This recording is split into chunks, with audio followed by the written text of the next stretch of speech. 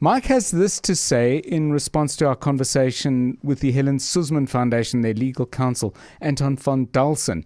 Um, and I just asked some questions uh, uh, in regard to in regard to his comment that the the law has to be equal for everybody. And I asked some questions about uh, their view of, for example, the failure to even approach a prosecution of Markus Jooste and others in Steinhoff. Mike has this to say John, the failure of the NPA to charge Jooste et al. creates a poisonous environment in which the immoral forces can allege racism in the NPA and others pursuing Jacob Zuma and others for justice.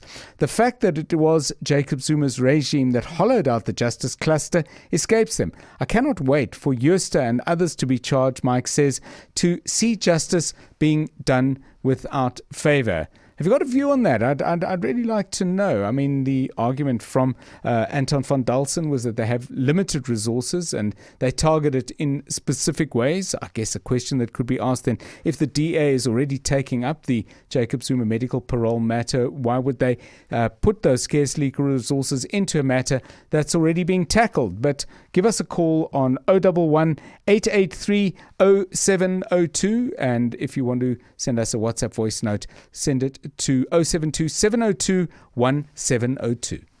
News, Experts.